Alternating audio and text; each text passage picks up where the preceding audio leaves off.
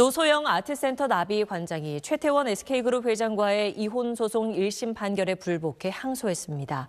1심 재판부는 지난 6일 이혼 책임이 최 회장에게 있다면서도 노 관장이 요구한 SK 주식이 아닌 현금 665억 원을 지급하라고 선고했습니다. SK 주식은 최 회장이 상속받은 것이라 재산 분할 대상이 아니라는 판단이었는데 노 관장 측은 해당 주식은 결혼 기간에 사들인 것이고 가치가 증가한 것은 노 관장의 내조 등의 때문이라고 주장했습니다.